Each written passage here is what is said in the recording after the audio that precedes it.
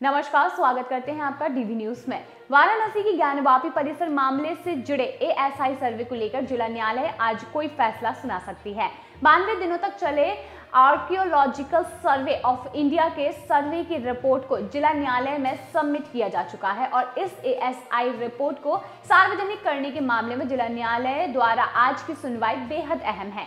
वही सुनवाई से ठीक पहले अंजुमन इंतजामिया मस्जिद के जॉइंट सेक्रेटरी मोहम्मद यासीन ने अपनी रिपोर्ट से खास बातचीत में कहा कि मोहम्मद पासीन ने अपनी बातचीत में ये कहा है कि हमें न्यायालय के हर निर्णय पर भरोसा है। रिपोर्ट सार्वजनिक करने को लेकर हिंदू पक्ष का कहना है कि इसमें एक वर्ग की भावनाएँ जुड़ी हुई हैं तो उन्हें यह भी ध्यान रहना होगा कि ज्ञानवापी मामले से एक और पक्ष भी जुड़ा हुआ है जिसकी आस्था भी इससे जुड़ी हुई है और वह नहीं चाहता कि यह रिपोर्ट सार्वजनिक हो। इसके अलावा मोहम्मद यासीन ने यह भी कहा कि भारत के संवैधानिक मूल्यों पर हमें पूरा भरोसा है, लेकिन एएसआई द्वारा सर्वे हुआ जबकि उन्नीस सौ इक्यानवे के वर्शिप ऑफ़ एक्ट के अनुसार किसी भी ऐसे स्ट्रक्चर से छेड़छाड़ करना ही संविधान के खिलाफ है और हम हमेशा न्यायालय पर भरोसा करते रहे और आगे भी करते रहेंगे।